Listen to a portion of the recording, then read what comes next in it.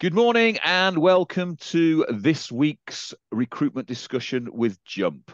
This week, we're going to challenge the culture of high performing sales team and help you unlock the potential within your business to drive your business through 2024. But as always, we're going to start with some little stats to try sort of set the scene and set the tone for this. 65% of outside sales executives, those are the executives who don't visit their clients, are attaining, sorry, those visit their clients, sorry, are attaining quotas 10% higher than inside sales reps, i.e., those who's in the office. More than 40% of salespeople say that prospecting is the most challenging part of sales, followed by closing 36%. Obviously, closing is a very interesting one because what we're saying about closing is that 92% of all close are done either face to face or over the phone. So if you take that first stat, 65% of people outside going out and visiting their clients have a 10% higher closing rate. It sort of says you should be going out and seeing your clients. Prospects are more open to communication with the sellers industry via events, 34%, LinkedIn, 21%, text, 21%, and voicemail, 21%, and social media, 18%. In 2007, it took 3.8 calls to reach a prospect. In today's market, it takes eight. 85% of prospects and customers are dissatisfied with their telephone experience. So it says we need to train our people better. And 73% of executives say they would prefer a sales professional who has been referred by someone they know. And 91% of customers say they would give a referral, but only 11% of people say they would ask for it. Gartner reported that organizations that institute or put into place an effective sales training and coaching program reap a 19% improvement on sales performance. And they characterize that in a very simple way. They characterize it that sales performance or training program isn't an event that happens three or four times a year. It's an event that happens constantly and continuously.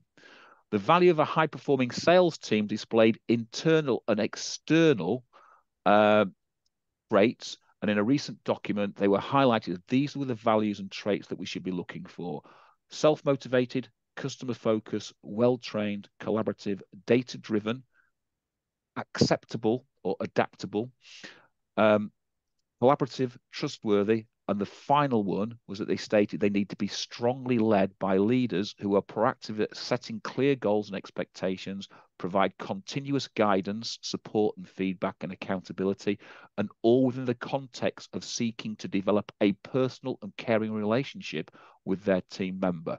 The last stat absolutely will typify whether we've got that right or not. In recruitment, the average attrition in year Uh, overall in recruitment is 43%. In year one, it's north of 70%. A high performing team on average has between 20 to 50% lower than the national average, which is 21%. So what that says is that our average is twice as high as the national average, and high-performing sales teams on, on average are between 20 and 50% lower than the national average. So retaining our people is really important. So have we got that self-motivated customer focus, etc. right? And are they led by strong people? As always, I'm joined by Dave and Paul today. Uh, Heather's with uh, a client. So I'm going to jump straight into the question. I think we've got a lot to cover today. So first question how can an organization proactively cultivate a sales centric culture that fosters high performance and drives results? I think the first answer to that comes down, and you've just touched on this, Howard. It comes down to making sure that you are um, recruiting the right kind of people, and it's sort of inverted commas.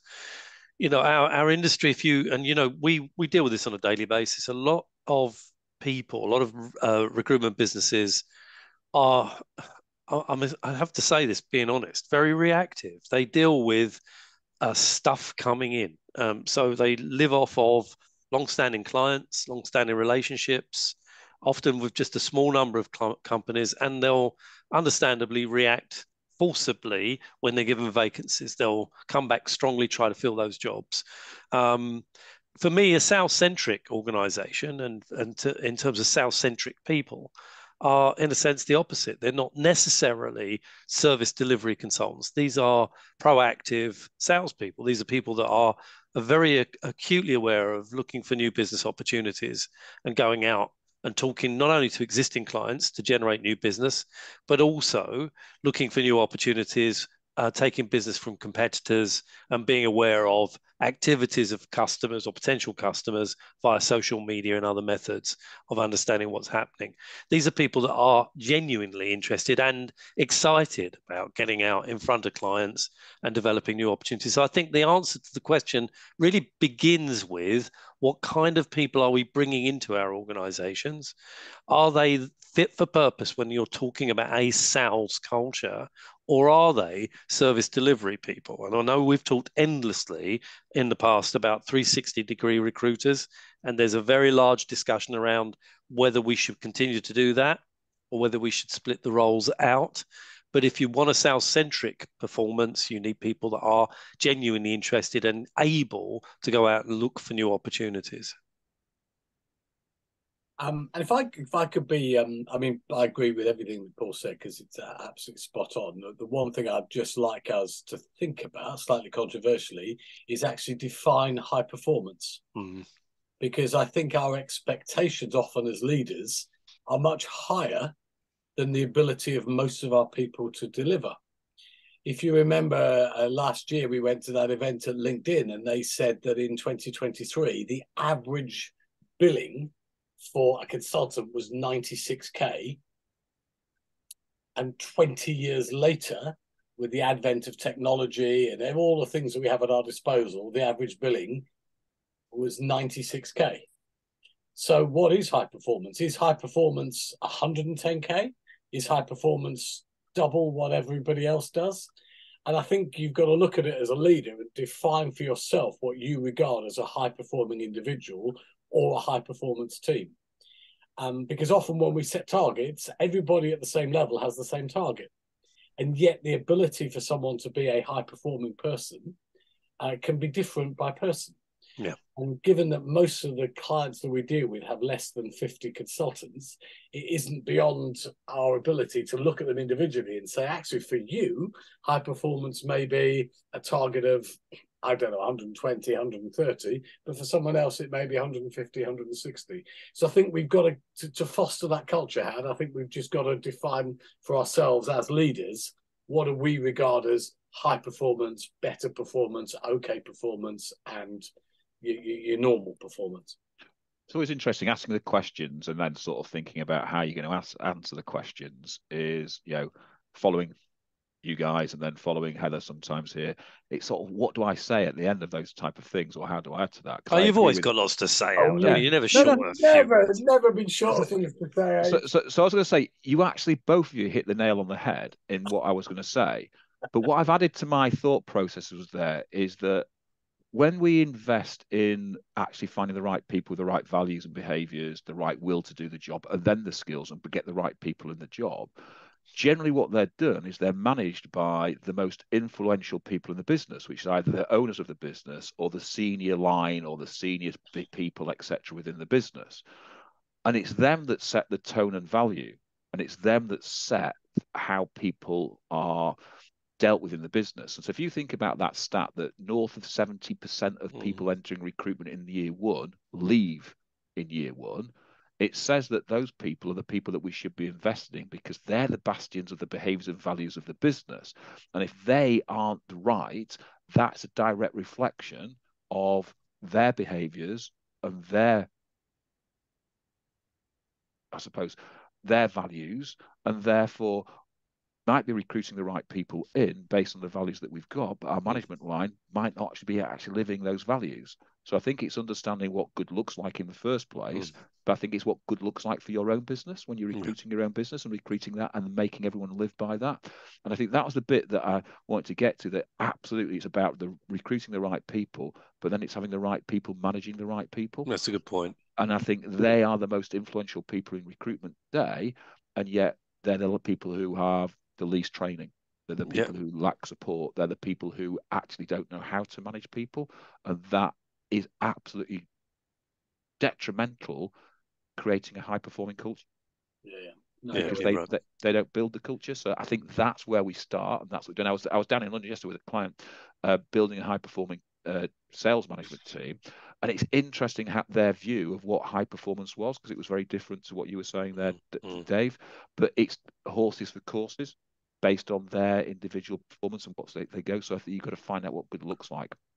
Uh, by the way, you, you did say bastions, didn't you? Because I've worked for a few bastions myself over the years. That was the word you used, wasn't it? Don't lower the tone, Paul. Don't lower the tone. It's always you, always you that drags it down. But there you go. But yes, you're right, and I have to. But there you go. Um, so question two, then let's look at that in a different way. Then, what strategies or methodologies have you found most effective in identifying and nurturing talent within a sales team to maximize their potential? Look, I, I think this. I'm going to go back to the basic point again.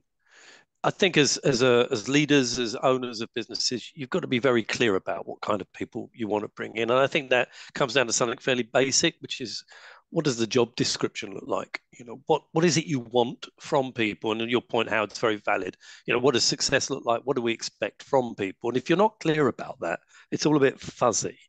Then coming up with strategies or methodologies um, in identifying, nurturing talent to get out and sell and develop your business just isn't going to happen. You, it starts from the very basic element of what kind of skill sets do we need and uh, do they complement the current skill sets of the people I have in the business? Are we trying consistently to find this elusive, um, I don't know, gold digger? This person is going to make such a difference to our organization, or are we being realistic about the skill sets we're looking for? So I think it, it is a question of stepping back. I think you can uh, use a template that looks at the uh, people that in your business who do very well in certain situations. You can come up with a foundation, um, assess the people that you already got. What do they possess? What do you admire? What do you feel you can develop further with those people? And can we recruit others like them? And I do think it starts from that position. I also think it comes down to something else that we talk a lot about, and that is, you know, if you're looking at nurturing talent and identifying the right people, then you need to be close enough to your people to understand what their talents are, whether they're obvious or they're hidden. How do you know what they are, and how can you extend and develop those talents um, in a in a way that is great for them to develop their careers and, and enable them to develop long term futures with your business, but that's consistent also with what you need for your business that's going to help you to develop your company. And I think that the, the two things go hand in, in glove. You also make the point rightly, Howard, about the leaders of those people and what sort of support and development and training are they getting um, to ensure that they in turn can develop the good people around them. It's quite a complicated answer, I know, and it's quite a complicated question. Um, but I think very often when we look at uh, recruitment companies, they haven't looked at their job descriptions in years. They haven't really assessed what skill sets they need. And I think it's something that needs to be done literally on an annual basis because we work in an environment that's changing at such a rapid pace that what might have felt completely appropriate 18 months, two years ago may no longer be entirely appropriate because of the changing nature of clients' demands and the actual economic changes that are occurring around us. Not to mention um, AI and all the technology that's developing at such a rapid pace. So it needs annual appraisals to understand what kind of people and what kind of skill sets we're looking for. Yeah, I think um, one of the strategies that we employed, actually, Paul, you, you and I did it with when we were working together. Yeah, yeah, yeah. Years the company is we we asked them to look at their best performers and actually work out what the DNA was of their best performers because they had a lot of uh, quite a young sales force and some of them didn't make it some of them did one or two of them were just brilliant. So we just said well look let's try and find out what it is about Rachel, what it is about Ben. Why are they so much better than the others? What is it that they've got? What how do they behave? How do they talk? How do they communicate internally, externally? To your point, Howard, are they going out and seeing more customers or not? What what is it? What was in their DNA that made them better? And then try to make that more like the job spec. So rather than this is your job spec as a consultant, you'll do this, this, and this, it became this is your job spec. You'll do what Ben and Rachel did. and this is what made them successful. So that's that's a technique that that I've seen that, we've seen work. Um, and the other thing is that they've got to own it. If you give to them everything that you want them to do, and they feel they've been given it, but they don't really own it, then I don't think they'll they have as much of a chance as being successful or as being a higher performing individual than if they own it.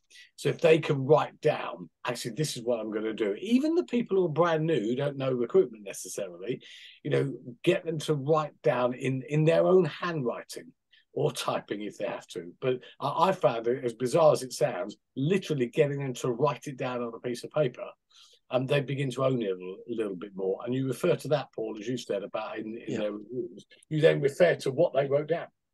You can tweak it as as you go along. But you know, annual annual targets now seem a little bit with the way the market's changing, the way things are going on. They should be reviewed every every three months. I know we have to build our budget on an annual target, but we do need to review it with what's going on in the market and all the changes.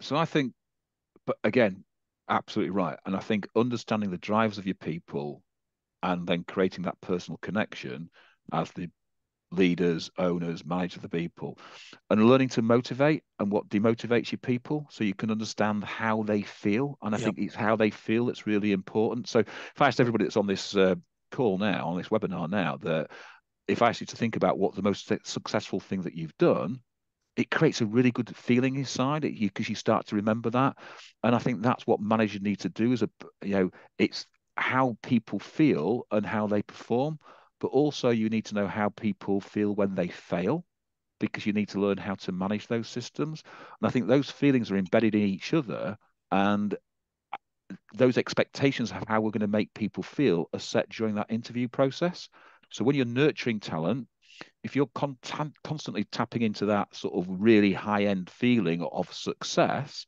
then guess what? They start to feel more successful, they'll be more successful, and you'll be the catalyst for that performance. But if you constantly create that feeling of failure, which lots of managers do, pick out the areas of failings and drive that, then guess what? You create an area that fails. So I think tapping into what we've said here and finding what good looks like, etc., but tapping mm. into people's feelings of what good looks like, how they feel when they perform at their best, what bad looks like, and how do you then create those feelings is really important because if you're creating the feeling of failure constantly, guess what? People think they're failing and therefore they'll f- fail more because they think that's the feeling that they've got and that's how you're pushing it towards them. So how you manage people, your KPIs, etc., become really important because they all create a feeling of either positivity or negativity. And I think that then detracts from sales performance or sales eliteness from there. So as we move forward then, in your experience then, how do toxic employees both management and sales people impact dynamic teams and overall performance and what steps can an organization take to mitigate that influence? And i'm not going to take get rid of the, people. Okay well i mean I, I, I think your key word is toxic. Uh, you know and I, i'm sorry to be slightly against what you've just said but i i, I won't I wouldn't tolerate and never did tolerate toxic or toxicity in my business um, no matter who people were. And it's not easy because, of course, uh, to your point, Howard, you can't just sack people. I think there are you, have got to get deeper into uh, what the situations are. I mean, there's a difference between critical thinking and problem solving, and those two things need to be looked at. If you're going to have to make difficult decisions, you have to remove emotions. You have to look critically at a situation. You have to dig deep, investigate why people are becoming toxic what what's causing that toxicity. Um, is it entirely down to them? Are there things affecting them? Are there issues in their personal lives that causing them to be bitter and, and not particularly pleasant in the workplace, and so on? I mean, we often talk about behaviors and values, and um, I, to my mind, this is such such an important thing. When you look at great businesses uh, consistently doing well. I mean, not just one year, but consistently developing, consistently growing. You will find, unquestionably, outstanding behaviors and values, great culture in those organizations. And you said it right at the beginning, Howard, where you where you have great businesses, you will have very low attrition rates. People stay, people stick around, people develop long term careers in those organizations. And you end up, as we've all thankfully experienced in the past, finding yourself working in what feels like a family culture. It's a family environment. People literally are very fond or even love each other. And, you know, to get that isn't an accident. But if you have somebody or people in that environment that is diametrically opposite in personality and attitudes and behaviors to the values you hold dear, you have to deal with that. Now, for, to me, it's about getting in quickly. If you st- if you see and you understand them or things are brought to your attention that people are not behaving correctly, then don't kick it into the long grass, which people often do. They they fear uh, the outcomes. They worry about having difficult, challenging conversations, confrontational conversations with people. So they they kind of duck around it. They, they they kind of hedge around the problem. They don't have direct conversations. And in my experience, what happens is things get worse. They don't get better. Um, and we reach a point where ultimately something um, occurs, i.e., the person leaves, or we end up getting into a very difficult um, uh, pip with somebody ultimately getting them out of the business. It's not great. So I think being close to people and dealing with situations very early when they occur, at the moment they occur, is how you start to manage those situations. But just to be slightly contrary, Howard, if you do everything you can to resolve a situation to the best of your ability, to bring a situation around, to get people to behave in the right way. And there is a refusal from that individual. They won't change. They won't change their behaviors and values. Then I'm sorry, they do have to leave the business because that toxicity can absolutely impact other people and will cause others to leave the company, will cause your attrition rate to increase, will certainly damage the uh, the culture in your company and probably damage relationships with clients and potentially candidates as well and will also suppress the development and growth of your profits. So you don't want it. And I'm giving you examples of how you can try to avoid it. Um, but if it really reaches a point where you can't, you you simply can't tolerate it any longer, there is only one um, outcome to that. I'm afraid. Um, I mean, I, I, take your your point out that you can't say get rid of them, but I'm going to say get rid of them. Paul's made an excellent point. As leaders, as human beings, as people, we want the best for our people. If they are toxic in whatever way that looks, and you've tried your best to change that behavior for whatever reason, that it's it's there. Um, the longer you keep them, the worse it affects your culture. The more difficult it is for you to hire, the more difficult it damages your reputation and my heart is always for people and helping them to change and you know, wanting them to be better. But if you know in your heart of hearts that that isn't going to happen, you, you have to, you have to get rid of them. And I have not. I don't think it was fair to say in my recruitment career, I cannot think of one person I've met who, in dealing with a toxic person, has not regretted getting rid of them earlier. Hmm not not one person. I mean, I'm, and I'm talking about hundreds of different people that we've met in our time, mm. both when we were running businesses and being advisors to businesses, who said, "I'm really glad I carried on just that little bit longer." Because when you so, know, when you know, you know. You do. And, and, and I'm not going to. I'm not going to argue about you. I'm not going to argue against you because you're right. It, it, the answer is to remove them as quick as you can. However, I think we've got to take a step back at some point and look at our processes because when we recruited that person, they were the best person to get through that process. Yeah. And therefore, yeah. we blame the people very quickly when we should be looking at the process. Yes, that person may have to be removed from the business if we can't change their, their, their mindset and change their, how they behave. But we've got to think that we have allowed those people to get into our business in the first place, and that's our processes it's not the person's fault. And therefore, we've got to look at our processes and change those processes. And that's what I was hoping to come from you guys. But you're right, that toxic level has to be removed at some place. And we've all benefited from from doing that. So let's look at it slightly different.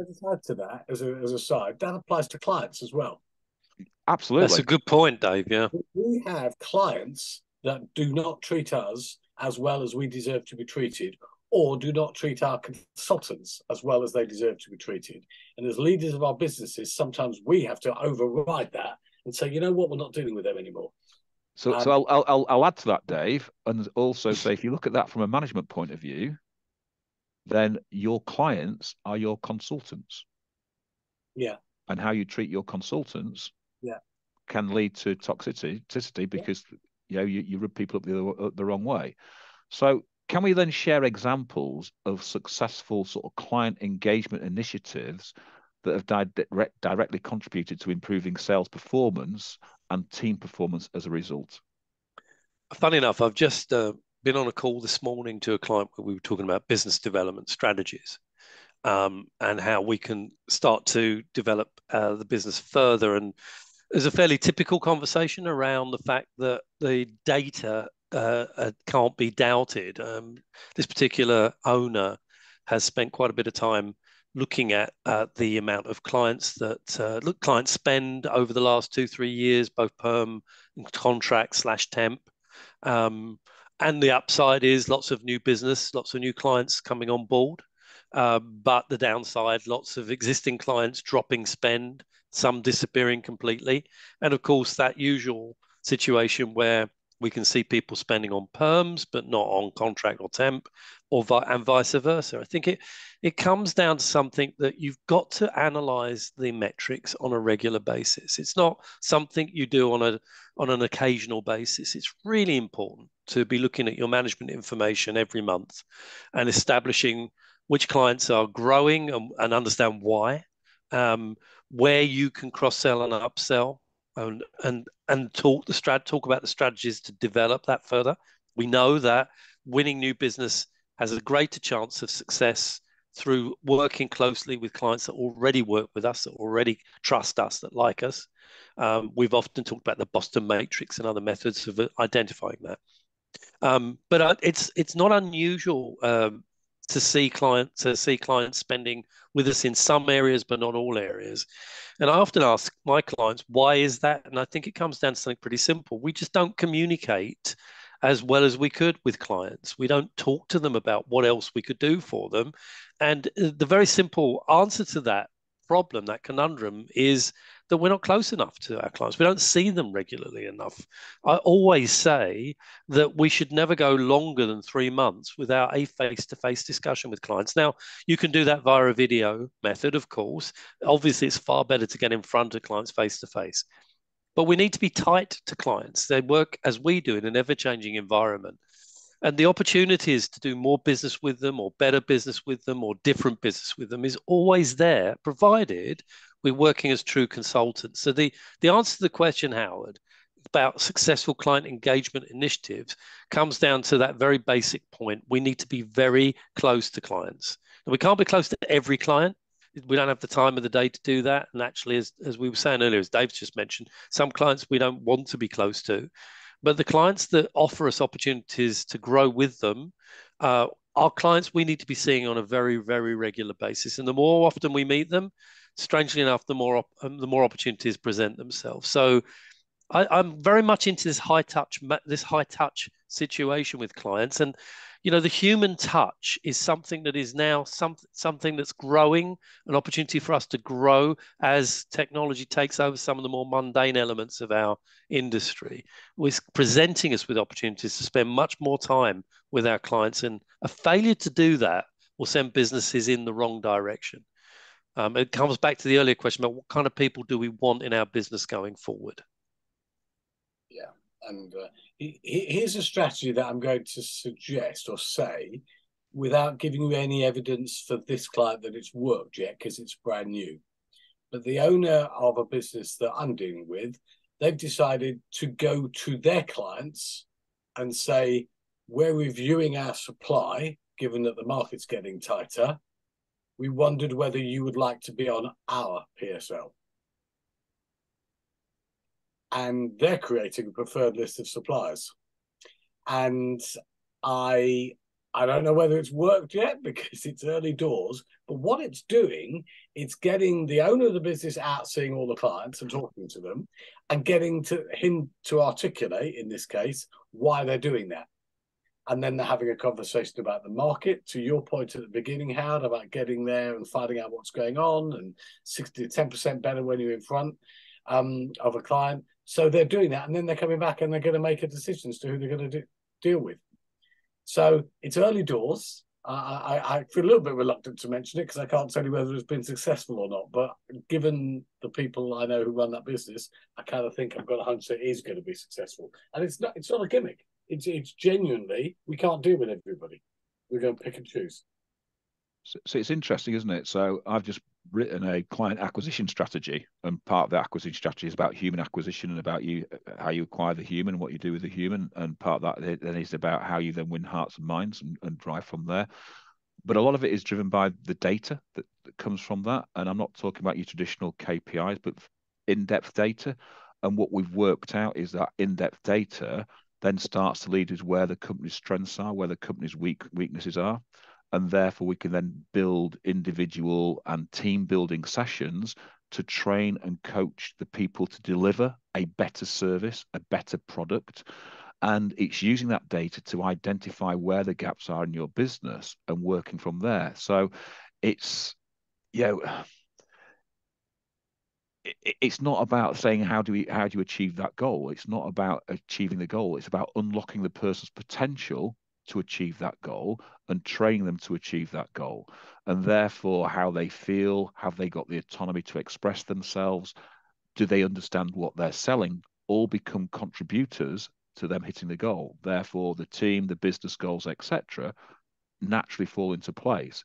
So i think that high data intelligence that shows and identifies strengths and weaknesses within the business is really important. And then it's about your high performing managers tapping into those businesses and creating high performance environments that enable people to grow. And that enables them to actually manage their clients. And you naturally then get rid of clients who are toxic. You naturally go out and talk to clients that you want to do business with because you want to work with people of the right mindset. And I think it is about what everyone said but I think it's about going that extra distance and saying if you can put in new strategies, you've got to train the people to deliver those strategies. And therefore, it has to be in your strength wheelhouse and not in your weakness wheelhouse. And most of the things that we try and sell, I think, are in most people's weaknesses because we've never really trained them to sell them properly. And I think we've got to change that, and that helps develop, you know, high performing cultures. Yeah. So Let's push that onto the leadership then. What role does leadership play in creating an environment where average performers feel empowered to excel and high performers are continually challenged to seek new heights? Well, I, you know, I, I think we all do, but I certainly came from that kind of background. I think it's it's about setting the uh, the bar. Um, what level of performance do we expect from people? And Dave was making this point earlier about what do we think is is good performance? Uh, is it moderate? Is it mediocre? Is that the is that the benchmark? I mean, you can say to people when they're being interviewed, "This is what we expect from you," and we can give figures. But then when they get into the business and they start looking around and they see what we tolerate from certain people, i.e., in terms of their monthly returns, their revenues, then they, they understand very quickly that what we said at the interview wasn't necessarily true, that the level of acceptable performance is lower than they expected. So, what you've got to do, I think, is to have a not, not an unreasonable expectation from people. I mean, giving people stretch targets to the extent that they can't can't get to them is detrimental to um, developing a great culture. But you've certainly got to be um, getting people to, to look constantly to improve themselves. And that means you're challenging people in a very positive way, but your expectation of performance is high. Um, and people need to understand that. And they need to witness it too. They need to look around them and recognize that their colleagues are actually hitting those levels, are going beyond those levels. I think getting that high level performance in a business, and I, I without with all due modesty, I certainly did that in my uh, in the business I ran for many years, uh, I, is something that's very important. I mean, I I can remember as a young younger person um, having great weeks or months and being um, being told I'd done a great job or I was even brilliant, but then in the same conversation being told, well, that was great, but did you know that so and so in the other office just down the road you did a better had a better week? You know, you whatever you did, there was always the reminder that somebody else somewhere was doing better than you. So you were never allowed to rest to rest on your laurels. They would tell you how well you were doing, but there was always this view that well, you can still do better because there are other people doing better than you.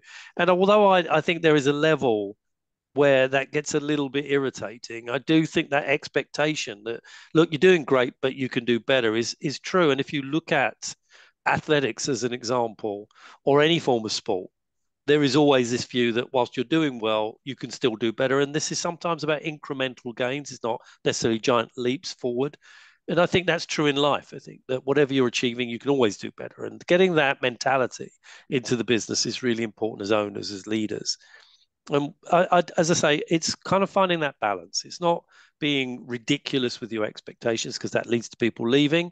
Uh, but equally, it's not settling on mediocre or average because that simply isn't going to drive your business forward. And it comes from the leadership, from skillful management, from the ability to say well done to people and really mean it and be giving the right development and training and coaching to people. Um, but it is definitely setting expectations and definitely selling setting levels uh, that we expect people to get to and driving for that to that performance level through good quality management and coaching and development and training. And I think that the key word there for me, Paul, you said is balance. It isn't the same for everybody, and it's it's understanding what makes someone tick. Uh, if they've bought into it, like I was saying at the beginning, then uh, away you go. You you know what they you you they know what you expect of them. they know what they have to deliver, and let's get the balance right. Um, so I used to do some work um, years ago with the Tom Peters organisation. Yeah. To have this um, this phrase MBWA, which was management by wandering around. Um, I guess now, as part of leadership, most of us do that. We're wandering the sales floor, we're talking to people, we're understanding where they're coming from. Um, so you know, if you don't do that, um, then you should. And if you've got people working from home more than they are in the office, then you still need to have that wandering around. You need to be um, online with them more often than not to make sure that they're doing the right things. Because most people crave direction, they crave leadership. They're happy to do what they're told. They just need to know what is expected of them. And if you get the balance right, um, then you can have higher performing teams. I think to me, it's a very simple, and part of that is that walking around conversation there, Dave, that you were mentioning. I think it's very simple. Is that you know, as we've said, managers have a very high expectation of themselves and of their team, and sometimes their team don't level up to that expectation. But also, the manager doesn't step down to help the people step up. And I think that's the big thing that if you want to empower average performers and create high performers that excel, you've got to step down and help them step up. And if you don't step down, if you're always in your ivory tower or you're always saying, well, if I can do this, you can do that, etc., etc., and if you're sort of setting the bar too high, then people can never achieve that bar. But if you set the bar a little bit lower and then keep increasing, keep increasing, and keep increasing, then you can start to lift people extremely quickly. But it's a matter of stepping down to their level and understanding what they're doing to change that. And I think lots of managers still think that recruitment is, you know, if I was recruiting in the 1990s, then that's how recruitment is now. But it's not. It's changed. It's changed massively for these mm. people. And we've got to step down and understand what they're doing to help them step up. And if we can't help them step up, then again, it's us, not them, that is the problem. And we've got to start to think about us as managers as being the problem rather than the people being the problem or the process being the problem. How do we as managers remove those blockages and enable people to perform at a higher level. So if we move that forward, how do you recommend addressing performance gaps within sales team while maintaining morale and motivation? Because that's the thing that sort of tends to happen is when we start to fail, we start to drive harder and morale and motivation disappears and that compounds the issue. So how do we recommend addressing performance gaps? Listen, I think it's about transparency and I think it's about good quality communication. Um, I think all good managers rely on uh, accurate data, not emotions. It's really easy to be, you know, because we do get emotionally tied up with what goes on, and it's un, and because we're passionate, passionate about our business, passionate about our performance, passionate about our people, passionate about performing well for our clients and candidates and so forth. It's very easy to get emotional, and passion's important. You know, if you don't care, you shouldn't be in the business. But at the same time, if you're going to start looking at what's what's not working or indeed what is working have the data have the information have accurate information in front of you. I'm a great i'm a great one for looking carefully very carefully at trends at what's occurring what are the numbers what are the you mentioned the phrase that lovely old phrase kpis a moment ago. What are the kpis are we performing against the right metrics so that when i speak to individuals i speak to the teams that where there are gaps where things aren't quite working well I'm talking to them about facts, not about my emotions. Not that I think this isn't working well, that I, I have a feeling this isn't right, or someone's peeing me off, basically. I, it's not going to come from that position. I'm going to talk to them about what's going on, and I'm going to use basic facts, mathematics, and data to explain my position. When you do that, when you explain to people with hard facts. There's no discussion, no argument. It's a, as a matter of fact, and we then sit down and talk about how we're going to address those particular issues, those trends, things that aren't working well. And you know, I think sales is a bit like an engine. It is an engine. If it doesn't, if your engine in your car doesn't work suddenly, it isn't that you need to chuck the whole engine out. You need to identify which bit of the engine isn't working correctly. It's, it may be a minor adjustment, a small part that needs replacing not the entire engine. And I think that looking at a sales team and looking at sales performance is a bit like that. Which bits need need to be adjusted slightly? How do we improve something, a small element of what we're doing, that link in the chain that might make all the difference, whether it's a person or it's a process? How do we do that? So come at it from the perspective of fact, not on emotion. Be open and transparent with people, both collectively and individually. And if they have their if they have pride in what they're doing, if they believe in themselves and they want to be a part of the business, they'll react very positively. Um, so it's about that. It's not about charging in like a raving lunatic every Monday and screaming and shouting or whatever because you're upset or unhappy about performance. Use your intelligence. Have rational thinking that's behind your your thought, uh, your your processes and your your direction. That's where it begins, I think. I think that's absolutely right. I think um, so much of what we do in the day to day stuff in recruitment is still very much process driven. Um, and I, I, can use my favorite phrase, Paul let the data decide. Yeah. Sit down with people with the data that you have. And there's two sides to it there's process and there's relationship. So you could have really, really good relationships with clients or individual people within clients but you're just not delivering the quality of the CVs or you're just not understanding the job specs that the client's looking for. And if you are leading organizations like that, you can use that data to help you understand where the pinch points are. Because usually it's not that they're doing everything wrong, it's that they're doing one piece of it, like you hmm. said, Paul. It could be that there's not enough coolant, or the uh, the oil level is low, or you've just put diesel into a petrol car. Or you had a flat tire, Dave. Well, you've got a flat tire. Yeah. Any one of those things. Just your job as a leader is to do, to identify what it is, to get the consultant or the manager or the director, whoever it is, works for you, to own that, and then put a plan together to to, to make it work. It all sounds so simple when we talk like this, and, and we've got it wrong many many times. But that's that's that's how I would that's how I would address it.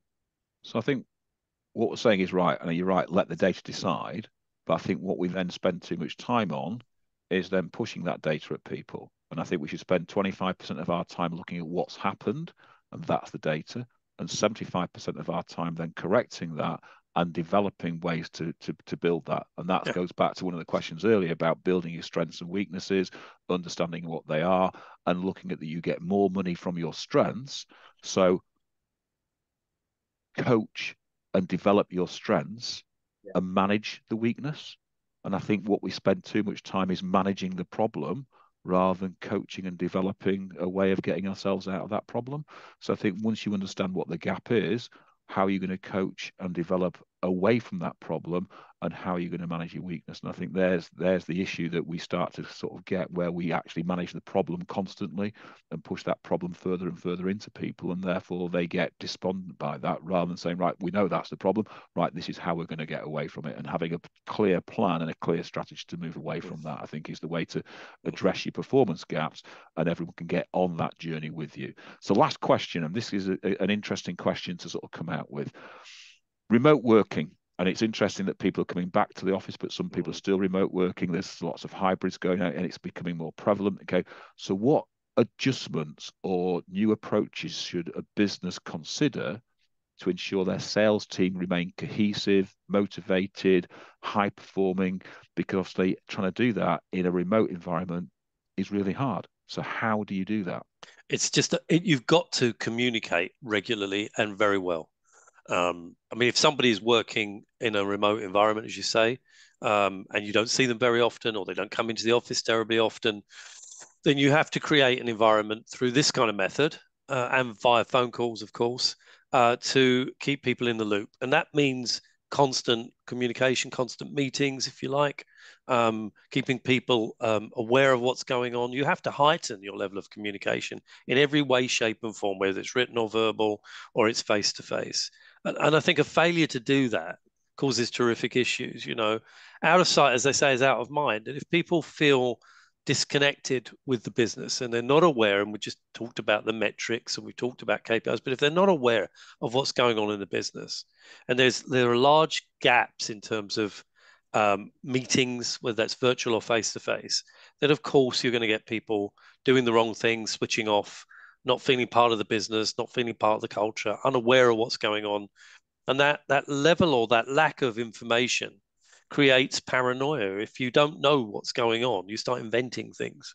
So it's just, I think, important to make sure that if people are working remotely, and that's the world we live in to a large extent these days, that you look and you think creatively about how do you keep people in the loop? How do you keep people uh, a part of the business. And there are, I mean, we could spend hours talking about this. We don't have the time. But how, what methods can you come up with? What creative thoughts do you have to keep people feeling part of the business, aware of what's happening, um, enthused, and um, uh, I think delighted to be a part of the business? How do you do that? I think that there's some important strategies that need to be brought in. It's not the same as having them around you every day. You have to think differently. I think um, as um as I was reading that question out, I was thinking there's a whole 45 minute webinar. Yeah. because it, really is at the moment, it's the hybrid bit that most organizations are struggling with. You know, it's three days a week, uh, work, two days at home, four days a week, one day at home. Do I bring them all in? Um, there's there's a real tension out there mm. um, with the clients that we talk to about what do we do. So I'm not, I guess I'm not directly answering the question because Paul's answered it so well, but I, I, do think that's something that we could explore as a, yeah. a jump together because I think there's a lot, um, there's a lot behind it, but uh, clearly the better the better you can communicate with those that are at home, the more chance you've got of them delivering higher performance. Yeah. I think I put it into four buckets communication, appreciation, constant contact, trust. Yeah. And it's about how you drive that and drive those individual buckets to ensure that your team are motivated and high performing. And I think I've said this before on these these webinars. You know, there are cultures out there that have been going for 50 plus years that have remote working constantly. So people like Avon and Summers, etc., you know, are all remote working, but all have a brilliantly high performing sales culture. And they're all proud of that culture. And I think that's yeah. how we learn from those type of things and look at it. And I think that's all about your communication, how you appreciate your people and that constant contact with them and to develop the trust that they can do that. So I think today's been a very sort of again a, a very different type of webinar for the, normal one that we've been doing over the last three or four weeks. Um, but it really is about the catalyst. I think the managers are the catalyst. The culture is the catalyst to sales performance. And if we don't create that culture, then sales performance tends to suffer.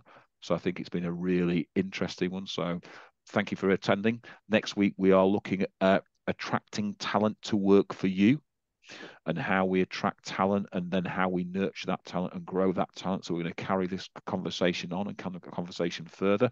So again, if you've got questions, feel free to ask those questions uh, either via email to us.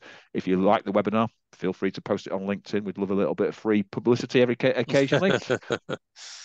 Mr. Jacobs doesn't know what LinkedIn is yet, but I'm sure he does at some point. Uh, but we look forward to seeing you all next week. There's one question that's just popped into the Q and A box, uh, which came from Richard Bradshaw. Uh, hi, Richard. God, it's been a long time since seeing you, Richard. Uh, what you guys see, how much do you see systematic issues among recruitment agency managers, owners, that the day-to-day management and performance management is only ever outcome focused as opposed to input focused? Mm, that's a great question. Yeah, often observed myself that management's rarely inclined to drill down into the strategy and the quality of the comms in the areas of there. And I think, Richard, we're going to answer that all the same. I think the answer is very simple: is that if you're only output focused, then you're missing the point. And that's the problem with most KPIs that they are output focused, where your KPI should be all about the input and it's the input that creates the output. And I think if you don't drill into the input and find out where the issues are, then you're never going to get the out, output anyway. So it's it is about having a look at that and the strategy of how you focus on the input to create the output. And input now comes from so many different areas. You've got to really sort of focus very heavily on it. So great question, Richard. Thanks for posting it. Uh, look forward to seeing you soon. Yeah, you're right. We should catch up, Richard. Um, so as I say, next week we're all about attracting talent to work for you and then how to coach and how to nurture that talent. So we look forward to seeing you all again next week. Dave and Paul, thanks for your input. Ladies thanks, and gents, Howard. thanks for your time. Cheers. Bye, Goodbye. everybody.